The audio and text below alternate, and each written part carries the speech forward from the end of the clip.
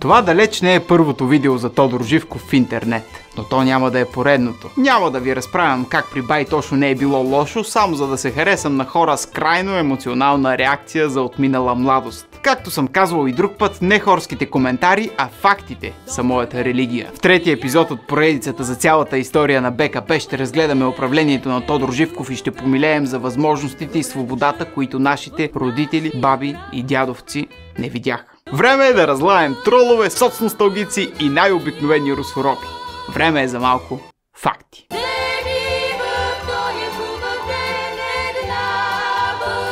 Преди да разгледаме хронологично цялата службогонска кариера на Байтошо, няма как и да не припомним еманацията на социалистическия кретинизъм – Софийското море. Емала Живков, Емала Живков, спомняме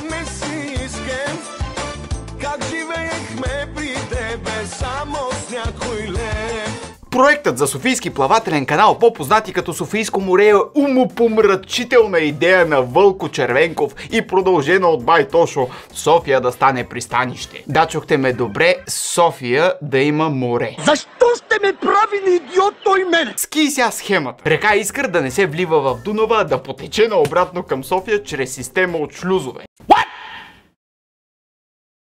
Достигнала до столицата, водата запълва така нареченото Софийско море, което от своя страна се свързва с река Струма, по която се достига Бяло море.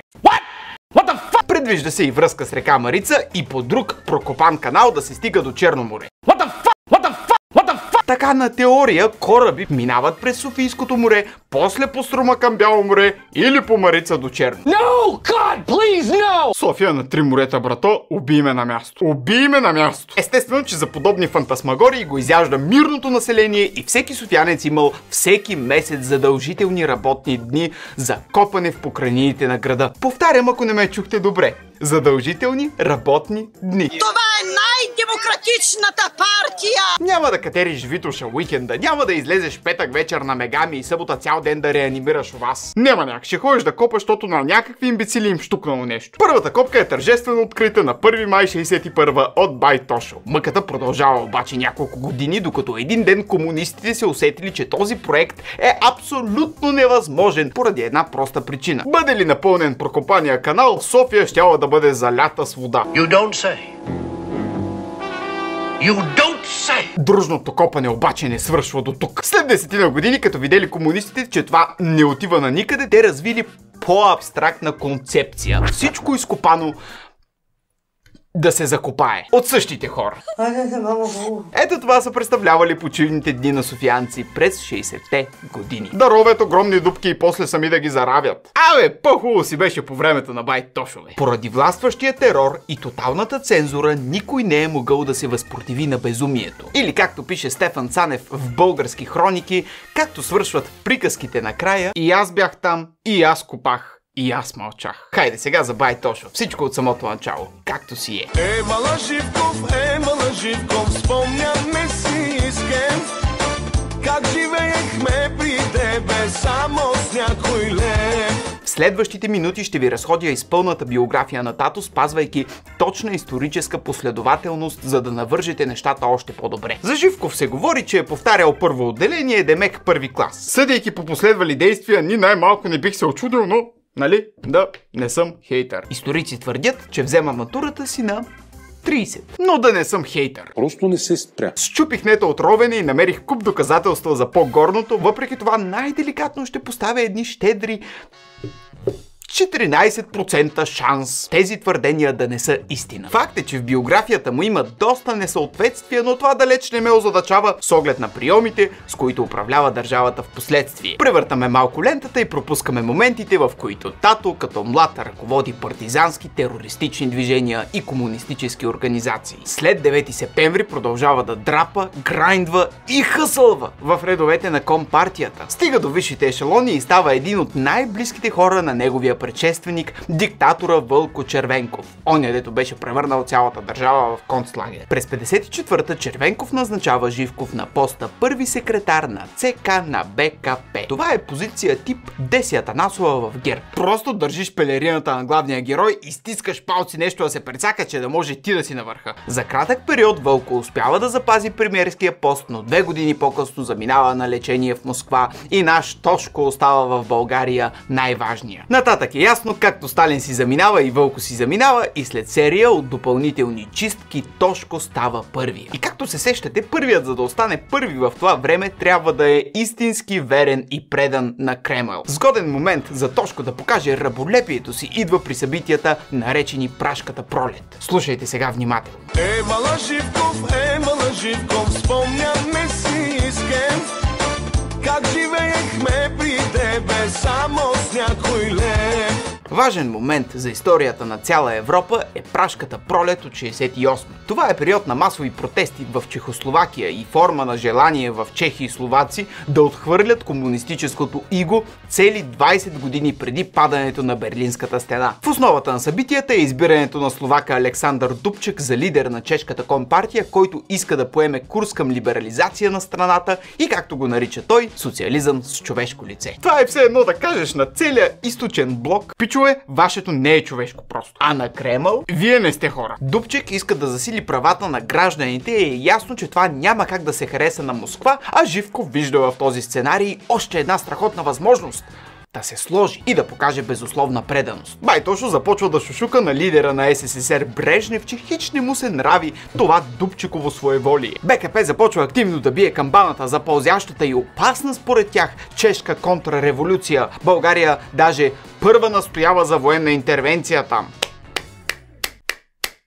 Браво, Байтош! Тодор Живков си остава Тодор Живков. Всичко под танка. Август 68. СССР, Полша, Унгария и разбира се България потушават протестите посредством военна окупация. Около 7000 танка и над 300 000 войници окупират Чехословакия, а над 100 души губят живота си от нашествието. Ето сега искам да ви дам пример как може да си хем комунист, хем диктатор, хем да не си такъв безродник като Байтошо. Румъния не участва в окупацията. Румънският първи Чаушеско, който безспорно е бил противник на съветското влияние, застава в защита на Дубчек и осъжда съветската инвазия. Впрочем, Титова Югославия също се е стремяла към сравнителна независимост от Кремъл и оказва дипломатическа подкрепа на протестите. Само нашият легнал, ма направо батко, възглавничка си сложил. Прашката пролет показва истинското лице на комунизма в пълния му блясък пред цяла Европа. Насилие, убийства и всичко друго, но не и девиза братство, равенство, свобода. И понеже някои евроскептици лаят против членството ни в Съюза, това е все едно ЕС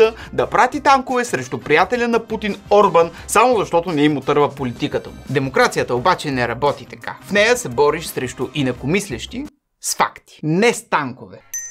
Пичаги това видеосъдържание достига до вас безплатно. Трудно е също то да бъде подкрепено от спонсорства поради остротата на темите, които засягам. Разчитам единствено и само на вашата помощ, за да продължа да създавам това, което създавам, както и да повиша неговото качество и количество. Известно е, че аз пари нямам. Ако искате да ударите едно рамо на канала, има 4 начина да го направите. Ясно, че тук спонсори трябва. Едно, чрез YouTube бутона Thanks, с който можете да оставите коментар с финансов бакшиш. YouTube си задържа обаче 30%, така че ако ме питате мен, предпочитам вариант номер 2. Да ви станете абонат в Patreon, където на месечна база може да дарявате сума близка до вашето сърце. Както и ако сте фенове на еднократните транзакции, смело може да ударите нещо по револют. Ето ви QR кода, просто сканирате и сте вие. Както можете да пуснете и нещо по PayPal, ето имейлът ми тук. А сега е време да узаконим диктатурата.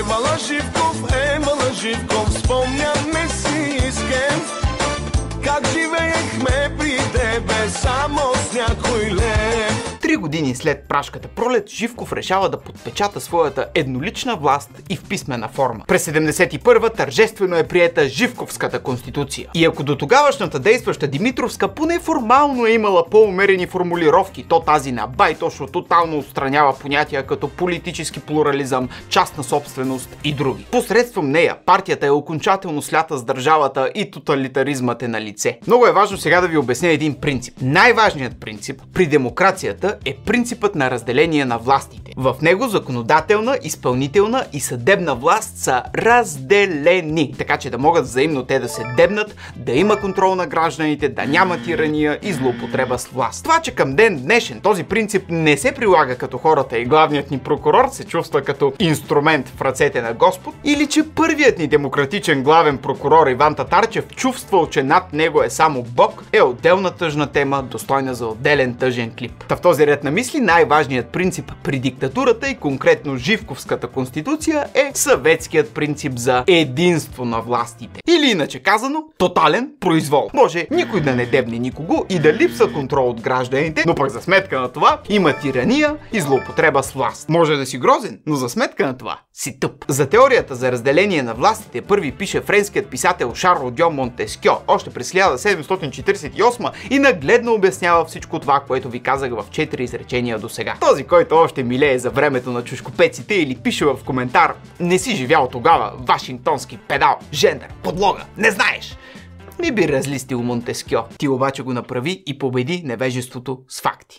Ема Живков, ема Живков, спомняме си искен Как живеехме при тебе само някой лев Стигаме и до повратната в историята на България 1981. Тогава се празнуват три юбилея. 1300 години България, 70 години от рождението на Живков и 25 години от управлението. Пропагандата тогава вече направо става разногледа, кое по-напред да хвали и фалшифицира и продукт на това разногледство е пропагандния филм Човек от народа, посветен на Байтош. В него разбира се, че му се лъска образа и се блъскат опорки до немайкъде, за да може народонаселението тотално да се зомбира. Той живееше много бизарно. Винаги помна, че той нямаше чорапи на краката си, а с вестници и хартия бил на краката си вместо чорапи. се сприятеляваше, намираше общ език. Той беше много трудолюбив. Много се гриеше за слабите ученици. Задълбочен в себе си. Даже хуморист беше. Работеше, той като буден, учеше, трудолюбив и така съобразителен младеж. Нито пиеш, нито пушиш. Трябва и малко лъжа. Има такава никаква особена самостоятелност в мисленето така. За какво лъжеш хората, бе? Той много четеше странична литература. Леко, леко ми идва неграмотен. А, да, има си хаз да кажат. Да, той беше повтарял първи клас, взе матура на 30, продаде златния ни резерв, фалира България няколко пъти, ма иначе е много добро момче. Винаги поздравява. Един диктатор винаги гледа на своя род като на династия. Ако има опции за продължение на властта вътре в семейството, очень хорошо. Затова и започва да издига дъщеря си Людмила Живкова в партийната иерархия. Не може да се отрече, че Живкова разчупила културата на страната, повлияна от азиатски учения и източни философии. Практикувала йога, била вегетариантка и такива напредничави идеи не се харесвали много в партийните среди. Под крилото на баща си тя ръководи честванията за 1300 години България и доразвива новата пропагандна теория на режима, че Байтошо е най-великият управник в цялата история на българския род. Откровено трябва да ви кажа, че аз съм развълнуван. Така по нейна инициатива се строи народния, сиреч националния дворец на културата, сиреч Индикато. Създават се поне по опаковката си смислени неща, като Международната детска асамблея Знаме на мира и парка кампаниите в София.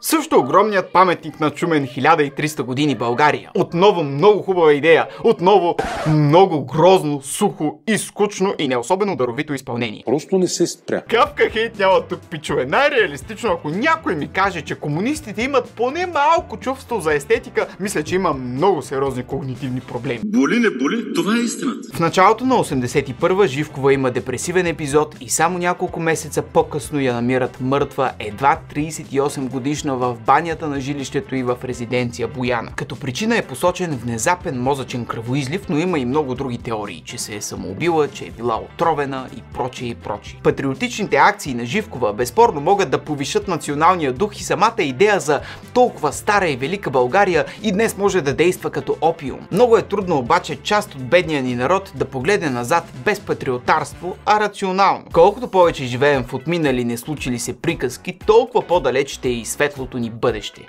Такова каквото наистина можем да си го направим. Ама за това трябват три бъта. Борба, бачкане и блъскане на българска история от достоверни източници в чутурата.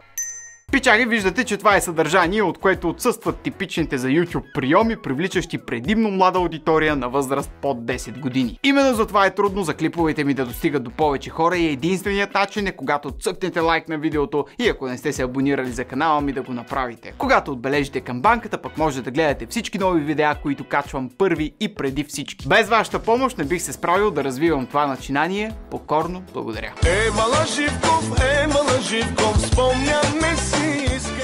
Преди да разкажем за края на управлението на Бай Тошо ми се ще и аз самия да изпадна в битов сантимент и да си припомня някои от най-крилатите лозунги по времето на соца. Другарки, дамските въшки са срам за комсомолките. Това ми харесва и комунистите харесват поддържани печета. Любимата ни партия ни осигури първокачествен нерез за общо ползване, който желая да се запише в кметството. Безплатно оплождане от нерези това го няма в ни една демокрация. Бакшиша е причина за нарушаване на реда и влушаване качеството на теляшките услуги. Дано тук да се замисли всеки барман или сервитьорка гласуващ за БСП. Дръж маркуча си в изправност. Забранено срането в района на гарата. Машината, чети внимателно гражданино, обича ласка, грижливо гледане и смазка. И да завършим с най-позитивното от всички, всички достойни комунисти, дружно под земята. Сега се надсмиваме на техния дебилизъм, но измежду измислените лозунги за ред и чистота е имало и такива, които неусетно могат да променят твоите възгледи и да изкривят общественото мнение. Политическият лозунг е един от основните инструменти на политическата пропаганда. На лица в носи не се оказва медицинска помощ. Надпис в лечебницата на родопското село Горно Дряново по време на възродителния процес. После комунизмът не бил като фашизма. Ай, моля, моля. Дебилизмът на соца има и други проявления, освен неинтелигентните бели. Да видим нагледно как човешката глупост сериозно може да вреди на вас и на другите около вас. На 26 април 86 гърми украинската АЕЦ Чернобил,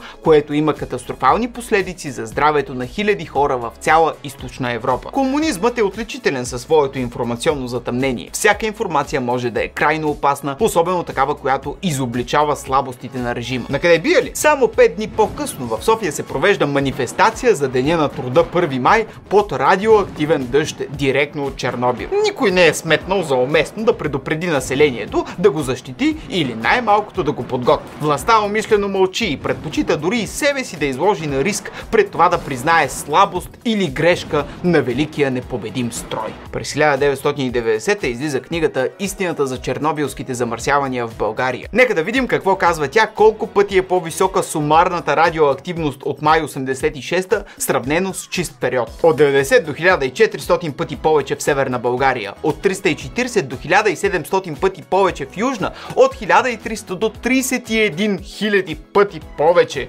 в планинските райони. Без Русия, Украина и Беларус, България е на пето място в Европа след Швеция, Финландия, Австрия и Норвегия. По облъчване на населението обаче сме първи в Европа, защото народонаселението не е информирано, съответно липсват и предпазни мерки. Ето толкова струва човешкият живот за Българската комунистическа партия, другари и другарки. Без никакви емоции, само факти. Стигаме и до края на 80-те, началото на края за Бай Тош. Ема Живков, ема Живков, спомняме си искем. Няма как да не споменем култовата му реч от 89-та в самия край на неговата диктатура. Тато усеща поредния роден економически колапс и неизбежния финал на тоталитарните режими в източна Европа. Малко преди да бъде свален от власт с вътрешно партиен преврат, при който гледа като абитюрент от спортното, който не може да намери забранени субстанции на бала си. Живков прави най-фамозното и ювелирно обръщане на палачинка на политик в новата ни история. И зато и нашето ръководство, по-специално Политбюро, твърдо застана на тая позиция, че ние имаме работа с недоразвито общество. Напомням, Живков управлява еднолично страната в продължение на над 30 години. Ам че толкова време каква е свърши, бе, брате? Или ако вземем да не се разпростирам, ако вземем социализъма е едно недоносче. А, не възразявам, социализмът въобще не е недоносче. Социализмът е тотален аборт. Ето това е самата истина. Недоносче. Трябва да кажем, че онова съдържание, което се намира в западните фирми, концерни, напълно нас не удовлетворява. И без него ние не можем да разгърнем фирмената организация. Превеждам, без Запада сме на кино. Освен това, частна, лекар, частна практика на всички лекари в свободното време. Превеждам, без частна инициатива, a.k.a. пазарна економика, a.k.a. бизнес, също сме на кино. Както виждате, сам Тато признава това, че повече от 30 години не му стигат да развие едно общество и в крайна сметка отново опираме до Запада. И даже след тази реч, пак ще има хора, за които по байтошово време е било по-добре. Мазохисти, сър. Соцносталгици, сър. Като гаден интернет, плъх, рептил, грантаджия и враг на народа, аз се порових в още няколко речи интервюта на Живков. Сладко е как Живков нарича БСП в интервю от 97 И на последната си пресконференция преди няколко дни казахте, че БСП не е вашата партия. Защо мразите БСП? Не, аз не мраза БКП. Браво, само това не съм очаквал от теб. Бай точно, ние си го знаем това. Ама защо някои хора към ден днешен го забравят? Аз не знам. А ако си мислите, че някои реклами са неуместни, вижте това. Хайде да изпием по една чаша сок Куинс. Да. Това е фамозно. Говори се за управление на държава, финансови фалити, човешки съдби и в същия момент Заповядайте. Да, благодаря. Ако беше наш съвременник, бай Тошо щеше да е брутален, роден инфлуенсър и трендсетър Басловя. Захвърли умората с охота навън Усмихни ти тялото си точно след сън Да започнем с чаша Куинс един весел ден Куинс, вкусът се познава от сутринта Какво за бога гледах току-що? Айде, нали, ако може, в финал, че се изморих вече. За десерт няколко безсмъртни цитата от Байтошо за наливане на малко мъдрост. Някой казва, че нашата власт се клати. И на коча мъдите се клатят, ама не падат. Държавническо, пророческо, визионерско. Ние трябва да направим коренен поврат на 360 градуса. Простите математически изчисления ми показват, че така ще си в същата позиция от преди поврата, ама карай. Добър журналист е той, който пише не това, което се говори, а това, което трябва. Това изчерпва в едно изречение как работи диктатурата. И за наше огромно съжаление, част от българските журналисти все още се водят от тези безсмъртни думи, а не от обществения интерес и благото на народа. Ако този клип ви е харесал, обязателно цъкнете едно харесване, за да може алгоритъмът да го запрати нагоре. Не забравяйте да отбележите също един абонамент за канала Чефо и една камбанка, за да може моите клипове да достигат първи до вас. Напомням, че ако искате количеството и качеството на подобно съдържание да се увеличи, има 4 начина да ме подкрепите. С YouTube бутона Thanks, с месечен абонамент в платформата Patreon, както и с директни бързи финансови транзакции по Revolut или PayPal. Липсата на спонсори и марки, които да застанат за подобен труд, мисля става все по-видна, така че подкрепата ви е незаменима. Ясно, че тук спонсори трябва. В следващия клип ще отделя специално внимание на трите фалите на България по времето на Живков, за които се мълчи. И ще ви дам точна статистика защо не е било по-хубаво. Помнете, че няма как да сме царе на бъдещето, ако не помним някои елементарни неща от общото ни на моменти тъжно минало. Аз съм Чефо, това е каналът ми Чефо, моят труд винаги ще бъде за вашия кеф. Ай, чао!